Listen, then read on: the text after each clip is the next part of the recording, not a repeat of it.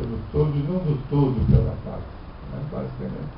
Por isso que o Kant quis dizer a maneira é, kantiana, né? que é um pouco, um pouco complexa. Né?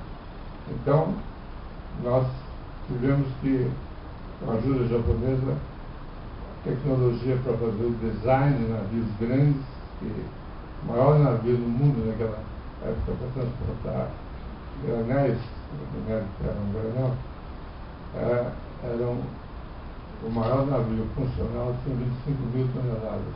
Mas os portos nossos só davam navios de 10 mil toneladas. É claro que fizemos o primeiro embarque de testes.